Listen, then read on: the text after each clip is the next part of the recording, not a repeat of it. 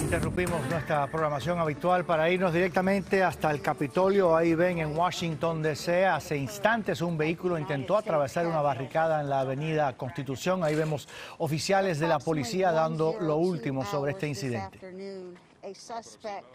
A la una y dos de la tarde, un sospechoso ingresó a el área de la barricada norte del Capitolio. El sospechoso arremetió con su auto contra dos oficiales y golpeó la barricada norte. En ese momento el sospechoso salió del vehículo blandiendo un cuchillo en su mano.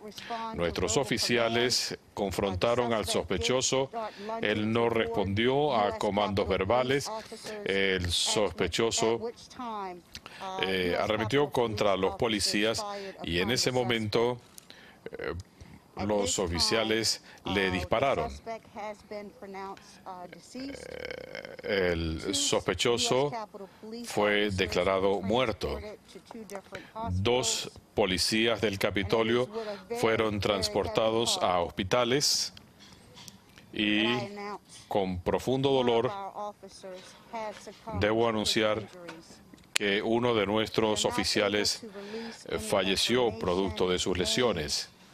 No podemos dar a conocer información, nombres, edad o fecha de nacimiento en este momento porque todavía tenemos que notificar a sus familiares.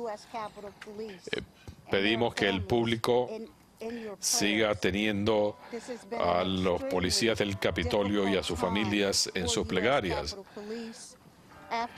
Este ha sido un momento muy difícil, un tiempo muy difícil para el Capitolio después de los acontecimientos del 6 de enero y el suceso de hoy. Les pido que tengan a la familia de la Policía del Capitolio en sus plegarias.